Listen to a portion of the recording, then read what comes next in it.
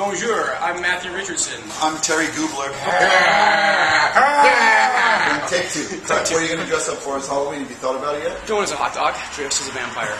No more hamburger? No Hamburger I got rid of. No, uh, I did that for about two days and it started to smell weird.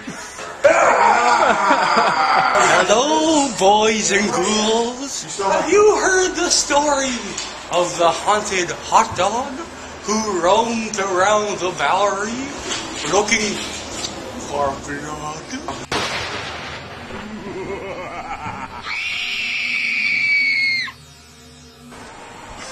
I'll stop. It's too scary. It's too scary.